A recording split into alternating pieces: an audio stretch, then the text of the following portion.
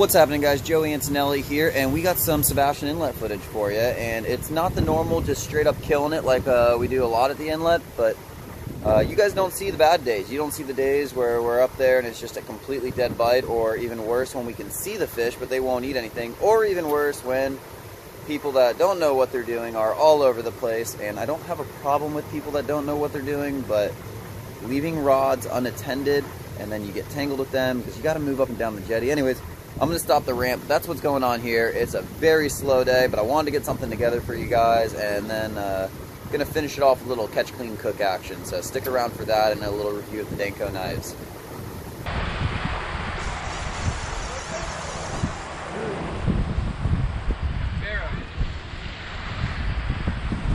That mono. Hey.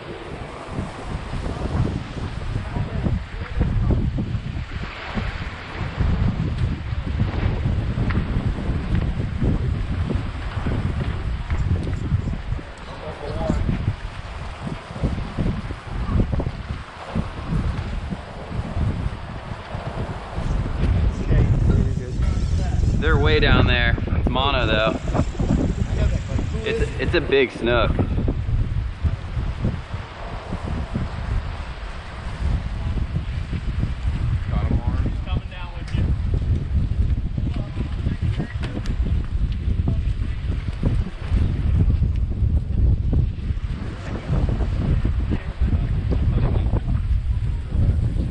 Go over me, Dave. Over?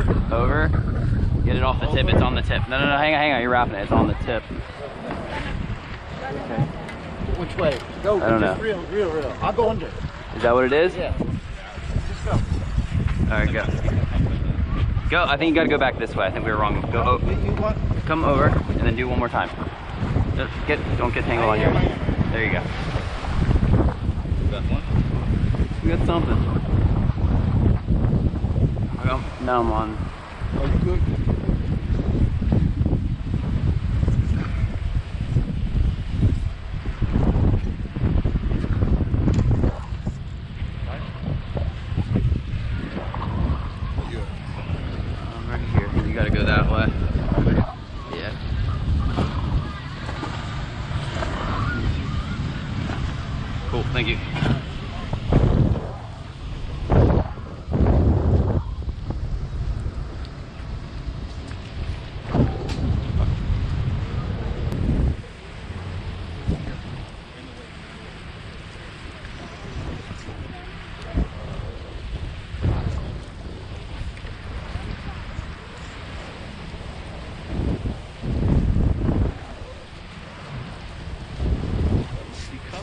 Saw him.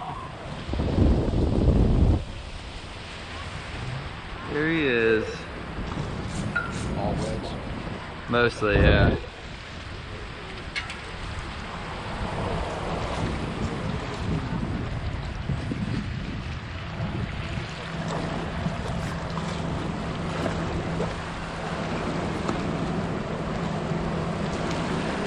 Thank you. Let me get a picture of that later. Yeah.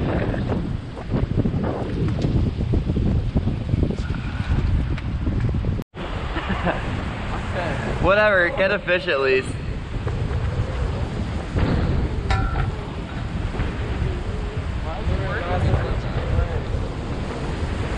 He's pulling. What is the snook gonna do to me? Snook's gonna destroy you.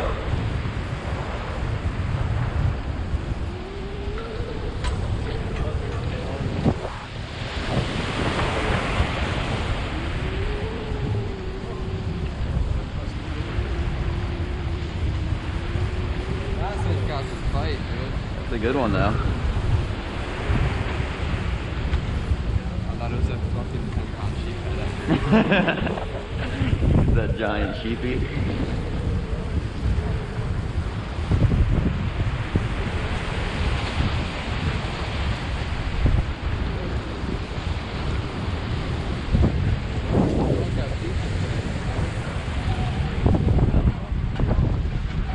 Frack drum. You want him? Yeah.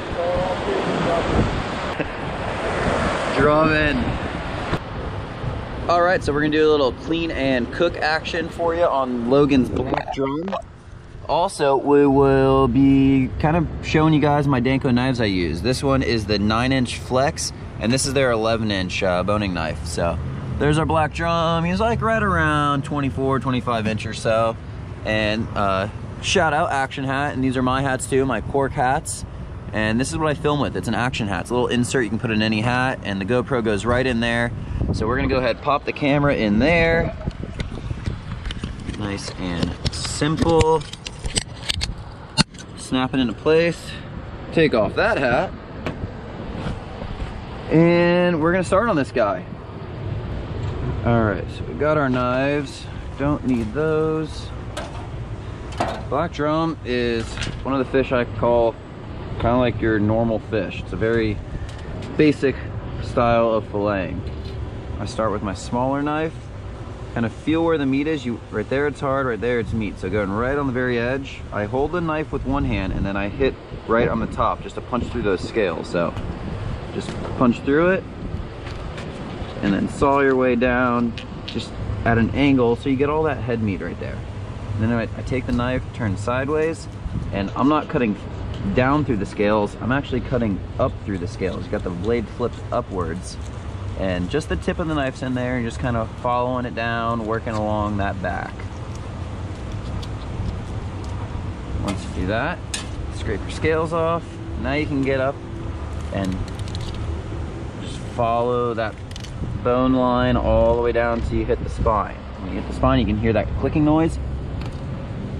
And let you know you're there. Now you're gonna go just over the spine and start going down through the bottom. I go most of the way down and then punch through and just follow it all the way through the back of the fish. Before I take that fillet off, I'm gonna go ahead and do the same thing on the other side.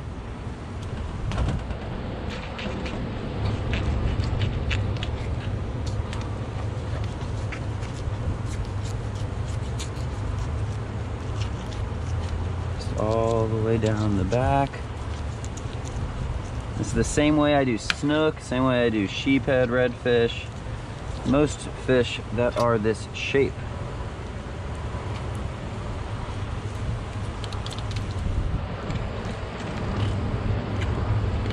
And then there's that noise I'm talking about.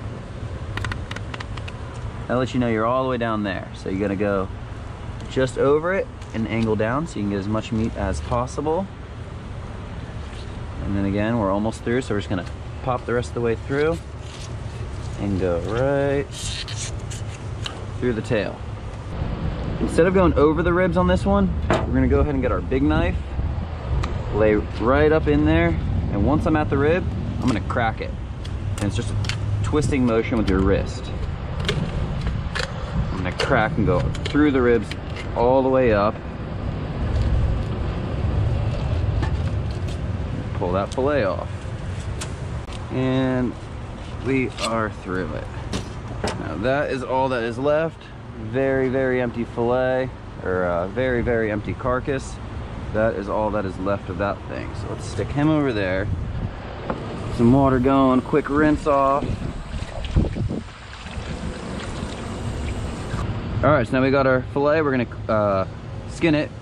I'm gonna take the smaller knife because it's more flexible. It's a nine inch flex. It'll definitely fit through here. On the bigger fish, like a big cobia or AJ, the big knife works really well for this. But I'm gonna go ahead and put that there and really hold it there just to get it started. Now you got enough room to get your hand on there. And we're just keeping the blade pointed down. And we're just sliding through it.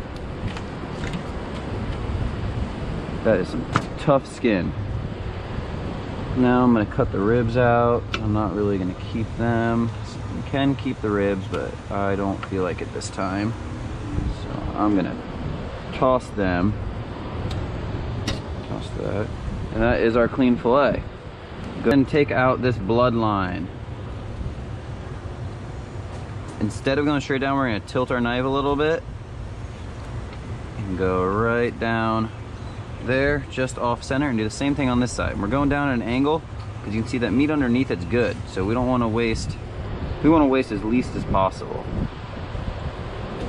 Little as possible. There, okay, so there goes bloodline. That's good stuff. Same thing here.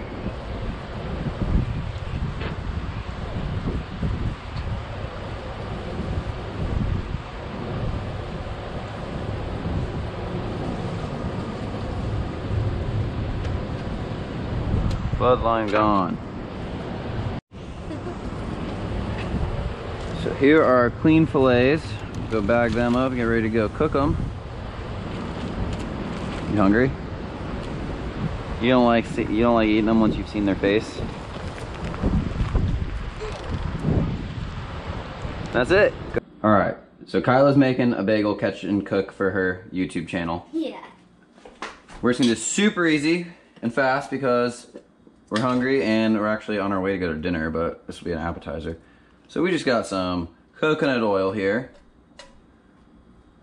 A little bit more. Boom. All right, our oil is melted and we got some Chef Paul Prudhomme blackened redfish magic stuff going right on our black redfish. Just gonna rub a little bit of that in there. Not the true way to blacken something, but it's fast and it's good and it's easy. Throw some on top. Come on. There we go. And we're just gonna let it sit like that for a couple minutes and uh, really just like a minute or so because they're not super thick. Then flip it and do the other side. All right, flipping time. Look at that. Looks tasty.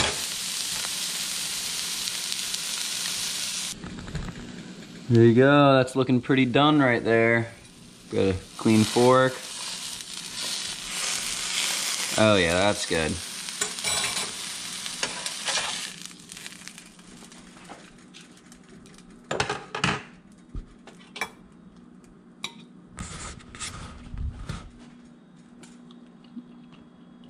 That's good stuff. It's hot. Oh, yes.